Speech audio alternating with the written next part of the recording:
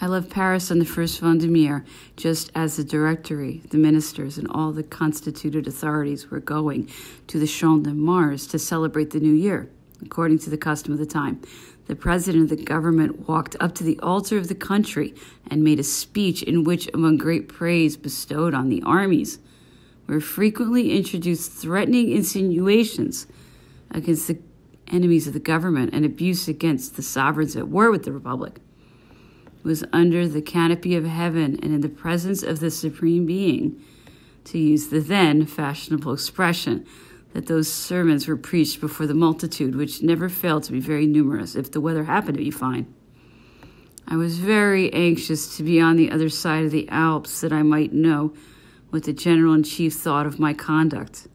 At the passage of Mont Cenis, I met an aide de camp of General Augereau called de Varina, who was returning dismayed with the harsh reception he had met with from General Bonaparte, who acquainted me with his misfortune. He had been sent to Italy by his general a few days after the 18th of Fructidor to claim from the paymaster of the army 600,000 francs, which were not owing to him and which he thought no one would dare to refuse him. The same officer was also the bearer of copies of Clarke's secret correspondence with Carnot from the time of his entrance into Italy. The generals of the army to whom Augereau sent copies of those letters were very much abused in them by the military diplomatist, and the general in chief was even attacked in his private character. Enraged against Clark, they thought fit to deliver into the hands of their chief these abusive letters without dis- dissembling their contempt for a man they had never seen in their ranks.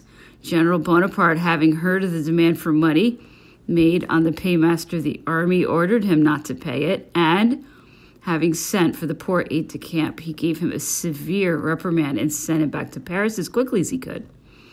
The young man was extremely grieved at his adventure and bestowed many imprecations on Augereau for having exposed him by such a ridiculous message. This little accident gave me some insight into General Bonaparte's disposition, and I hurried the more to rejoin him. I was entering the long avenue leading to the castle of Passeriano when I perceived Clarke, who stopped my carriage. The directory had deprived him of his diplomatic mission and dismissed him as a general on half pay.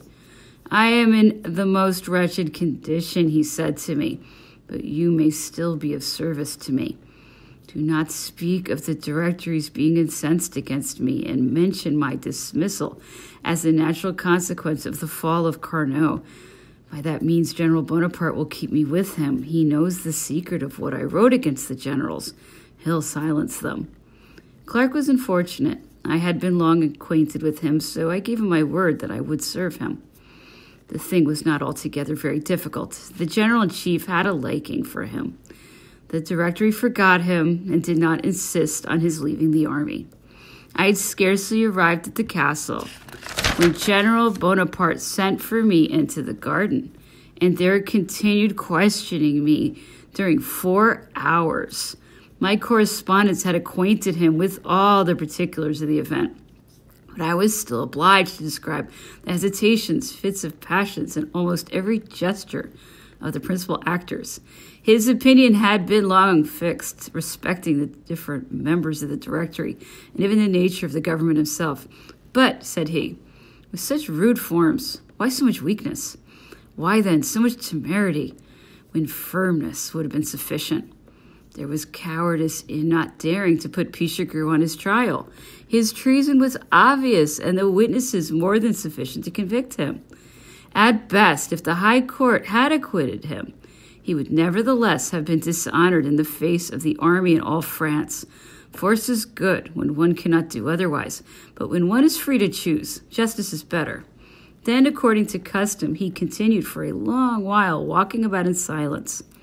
At last he added, on taking leave of me, All things well considered, this revolution will prove a vigorous stroke to the nation. When he returned to the castle, he sent for Botot, the secretary to Barras, had a long conversation with him, and sent him back in the course of the night. A few days afterwards, Bernadotte returned from Paris. I soon perceived that he had represented events under a more favorable light for government than I had. But through all the particulars he mentioned, his numerous animadversions on the War Department and his conjectures on the renewal of hostilities, General Bonaparte had no difficulty in penetrating his ambition and his designs. The Directory had loaded him with praises. The Ministry of the War Department had been promised him, and when a short time after the General in Chief learned the nomination of General Augereau to the command of the Army of the Rhine, he felt that with so weak a companion and so ambitious a minister, it would be impossible for him to advance freely and to obtain glorious results. Peace was consequently resolved on in his mind. I am far from doubting that considerations of a more elevated nature, and especially the wish to give peace to France, then sinking under the burthen of her sacrifices, swayed his resolution, but most certainly the choice of those two men contributed greatly to fix it. During the long and occupied days that the diplomatic debates afforded him, the general in chief used to pass a part of his evenings with the learned Monge, whom he had summoned near his person. Among the varied and instructive conversations which delighted the general chief, the plan of conquering Egypt, so often presented to the ministry in the reign of Louis XV and Louis XVI, was discussed. The general, who always went to the bottom of everything, wished to read all that had been written on the subject. Monge having held for some time the portfolio of the Marine Department, was enabled to procure him quickly all the most interesting papers. The measures that had been proposed appeared faulty to the General in Chief, but the fertility of his mind made him discover the advantages he might derive from his position to lay down a plan easier of execution and better in its result. It is probable that the idea was at that very moment communicated to the Directory, for soon after, the first germs of its execution began secretly to develop themselves. Monsieur Poussielgue, the chief of the treasury, was at that time secretary of the French legation at Genoa. This gentleman, gentleman had several relations, merchants at Malta. He was called to the headquarters, and from thence he went to Malta. His mission was to sound the disposition of the government and the French knights, to get well acquainted with the spirit of the people, and to ascertain what were meant to be the means of subsistence or the obstacles to be expected. Finally, he was to do his utmost to send to the headquarters some of the knights of Malta, whom Bonaparte might have known as the military school. This mission was executed with great secrecy and intelligence, and during Poussielgue's absence, secret efforts in furtherance of this object advanced rapidly to lead curiosity astray. The general spoke of a journey he proposed to make after the peace was concluded. He said he intended to go to Germany and the north of Europe with his wife, Monge, Generals Berthier and Marmont. I was destined to accompany Eugène Beauharnais, who at that time was no more than 17 years of age. General Bonaparte diverted himself with setting up a plan of studies and observations, of which we were to give an account at the different places where we were to meet. That plan was the more reasonable, as General Bonaparte could scarcely live at rest in France if peace lasted any time. He would not have been able to avoid the clashing of the different factions and would perhaps have been forced to take part in the measures they would have attempted with a view to triumph. The Directory was afraid of him his glory was annoying. His influence over the enemy could not fail to be immense. On the other hand, he was too young to have a place in the directory, and the idea of being the minister of Barras and La Révellière-Lépeaux was not to be borne. All these reflections determined him to make peace, notwithstanding the contrary orders of the Directory. Misunderstanding and dissatisfaction showed themselves in all the letters he addressed to the government. His unpublished correspondence contains three of those letters, in which his ill humor is displayed with a degree of energy and pride that made the Directory tremble and was the source of the hatred which, in course of time, brought on the 18th Brumaire. The Directory did not wish to sacrifice Venice to Austria. General Bonaparte wanted to remain in Mantua, and as his instructions did not prescribe absolutely that he should not have been at Venice. He took upon himself to sign on the 4th Vendemiaire, 25th of September, the Treaty of Passeriano. Well convinced that government would not dare to express discontent openly and that France, rejoiced at peace, would overrule her with applause, the rumors of the general's enemies. According to our calculations, the courier of the Directory was to arrive at Passeriano on the very day fixed for the signature. Bonaparte was reckoning with me the distance the courier had to go and the hour he might arrive, and he candidly acknowledged the perplexity he would be in if he received from government an order not to go any farther. Recollecting afterwards with disgust the slow march of Moreau in Germany a few months before, while he was at Leoben and the appointment of Augereau to the command of the Rhine army instead of Desaix, whom he had recommended in the most pressing manner, he added, in a tone of much ill humor, I see very well that they are preparing defeats for me. That man, meaning Augereau, is incapable of conceiving an extensive plan. He will get beaten or will not advance at all. All the Austrian forces will then fall upon me, and my beloved Italy will be the grave of the French army. He then questioned me as to the disposition of that part of France through which I had traveled, and I assured him that peace would be received with enthusiasm, that the people would bestow blessings on him, and that public happiness would be his work. At last, on the 27th of Vendemiaire, the ministers of Austria were called to Passeriano, and the secretaries of the two legations made copies of the treaty. That business lasted the whole day. The general was delightfully merry. No more discussions. He remained a part of the day in his saloon and would not even have the candles lighted when it grew dark. We sat talking and telling one another ghost stories like a family living in an old castle. At last, at about 10 o'clock at night, he was told that all was ready. He ran to his closet, cheerfully signed the document, and at midnight, General Berthier, the bearer of the treater, treaty, was on the road to Paris. Twelve hours afterwards, the courier of the Directory arrived. The orders were positive, and if they had come to hand the day before, the treaty would not have been signed. The next day, the General Chief wrote to the Directory expressing his wish to leave Italy and to come to France to enjoy a little repose. But it was absolutely necessary first to organize a Cisalpine Republic, to take prudential measures against the Pope and the King of Naples, who showed the most hostile intentions. A squadron of troops had been sent to Corfu, Zante, and Cephalonia to take possession of these Venetian lands, which had been given to France by the Treaty of Campo Formio, and the general did not think fit to leave Italy before he received accounts of their organizations. In the meanwhile, Monsieur Poussielgue was beginning to give the required information respecting the disposition of the public mind at Malta.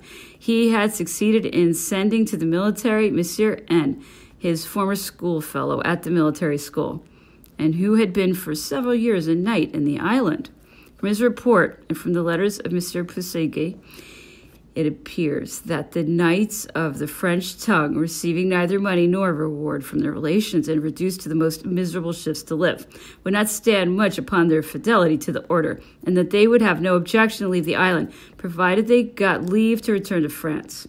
That the Grand Master Hompesch, a man devoid of strength of mind, would probably make no use of the means of defense he possessed in his military possession and the land and sea forces he had at his disposal. The persons who surrounded him had an influence over him so much the more pernicious on account of the desire of both the English and the Russians to gain possession of that island. The Russian consul was a bold and active man who frightened the government by his threats and spread disorder and terror in the minds of everyone. It was therefore of great consequence to General Bonaparte to take a resolution and show himself before the island with an imposing force that might decide the Grand Master in favor of France. He resolved at last to leave Italy. He addressed a proclamation to the army and left it under the command of General Kilmaine. Bonaparte crossed Switzerland and went to Rastatt. His traveling companions were General Marmont, Duroc, myself, his secretary Bourrienne, and Yvan, his physician. The only place at which he stopped was Geneva, where the directory was already beginning by underhand maneuvers to augment the number of its adherents who were one day to effect the union of that republic with France. Carnot had sought refuge in that city, and General Bonaparte privately sent him advice to leave it as soon as possible, so as to prevent a persecution he was not able to prevent. Monsieur Necker was then living on his estate at Coppet, near Geneva. He still looked upon himself as a great man and flattered himself that the conqueror of Italy would pay him a visit. I do not know was at that time General Bonaparte's opinion of the financial talents of the late minister of Louis XVI, but I'm sure he had but little esteem for his personal character and had positively declared his disapprobation of the sovereign's choice of minister for France. We had a great desire to go with him and see the seat that Voltaire had celebrated in the latter part of his life. But the general in chief had also a grudge against Voltaire he therefore thought fit not to make either of the two pilgrimages. We crossed Switzerland without stopping anywhere. However, his carriage having broken down a league from Morat, we traveled that part of the way on foot. Though it was no more than seven o'clock in the morning, the road was covered with people. And especially women who had passed the night there to get a peep at the conqueror of Italy. When we arrived near the Bone House, where lie deposited the remains of the Burgundian soldiers killed in the famous battle at Morat. We found a General Erlach of the celebrated family of that name who was waiting for the General in Chief in the expectation that he would stop to see the monument. General Bonaparte, not being in military uniform, the stranger, without knowing him, gave him all the particulars he could wish respecting the victory of the Swiss. After he had exclaimed the military position, he only said, Charles the Bold must have been a great madman. This reflection, uttered in a firm tone, appraised Mr. d'Erlach that he was in the presence of the hero he had so much wished to see. A respectful bow and a compliment expressed with emotion were the only homage he was enabled to pay him, for the general proceeded on his journey. Two days afterwards, we passed through Offenburg the headquarters of Augereau, the general chief of the Rhine army. General Bonaparte stopped before his door and sending him word that he was there, but in too great a hurry to get out of his carriage, he added that he wished to see him for one moment. The lieutenant of the general in chief had, however, already begun to forget him, and his only answer was that he was dressing. This unpoliteness was but ill repaired the next day when he sent his aide de camp. Augereau's hatred of General Bonaparte augmented in proportion with his wrongs and only ended with his life. The Treaty of Campo Formio, it was agreed that a Congress should assemble at Rastatt to treat of peace between the Empire and the French Republic. The choice of the place recalled to the memory the celebrated period of 1707 when the castle of Rastatt united on its walls the Duke of Villars and the Prince Eugene of Savoy. This time the emperor did not think fit to be represented by one of his warriors. They had all of them been beaten by the French. Count Metternich represented the Roman emperor, and Count Lehrbach, the king of Bohemia and Hungary. Count Cobenzl came there with the other negotiators who had signed the Treaty of Campo Formio. On the side of France, there was Monsieur Treilhard, late member of the convention, who not only had voted for the death of the king, but who had even boasted at the time that it was he who had persuaded the Duke of Orleans to give the same vote. He was a very learned lawyer and a man of rigid character. The criminal code was composed by him. He was far from being eloquent and had not even an easy style of elocution. He was accompanied by Monsieur Bonnier d'Alco, a harsh man of a violent and frequently untractable humor. These two plenipotentiaries were all but pleasing to the diplomatists, covered with stars, and whose ancient names were preceded by their high sounding titles. The contrast was singular, for the two ambassadors of the Republic never wore any but round hats, and their shoes were fastened with strings. But the other nations were obliged to submit to the French Republic, and the railleries to which these two gentlemen were exposed were never expressed in their presence. The general in chief had no desire to remain at Rastatt. The obscure discussions of the negotiation and the artful finesse of the German chancery would have been a sad recompense for the fatigue he'd suffered in the army and a still sadder one for his victories. Nothing therefore took place but mere form. Only one remarkable circumstance happened during his short stay. The King of Sweden, in his quality of Grand Duke of Pomerania, had sent to the Congress or Reichstag Count Fersen, formerly celebrated at the court of France and who had acted so conspicuous a part in the famous journey to Varennes. The hatred of his sovereign for France was a well known fact, and the Count could not be agreeable. He happened to express the fatal wish of being presented to the general. When he was in his presence, the latter said to him, How could you expect, sir, you could be able to serve the interests of Sweden? You who are only known by your affection for a government justly prescribed in France and by your useless exertions for its reestablishment. Monsieur de Fersen replied by a few words which we did not hear. General Berthier, who was present, wishing to relieve him, recalled to his memory that they had fought together in America. By that means, the ambassador retired a little less perplexed, and the next day he left Rastatt, whither he did not return until some time after.